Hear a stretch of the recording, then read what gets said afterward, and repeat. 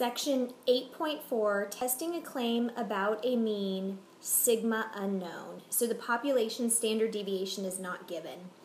So since we know the basics of finding a hypothesis test, let's start off talking about critical values for this situation.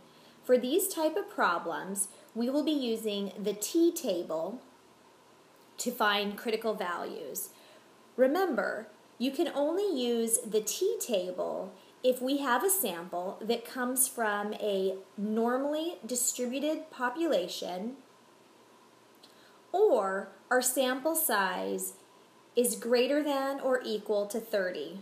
So essentially n greater than or equal to 30. Remember, this is because if you don't have a normal distribution, that once you get samples of this size, the sample itself becomes normally distributed.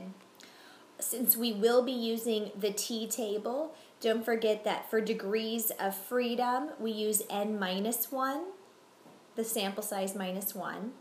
And on the t-table, there is a separate row at the top for a one or two tail test. This means that when calculating your hypothesis test, you do not need to calculate alpha over 2 for a two tail test since there's an actual row for that.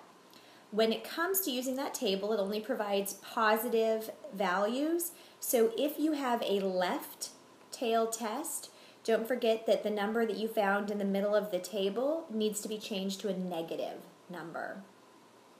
And when working with a two-tailed test, even though you'll be using the row at the top that says two tails, the table value needs plus or minus in front of it.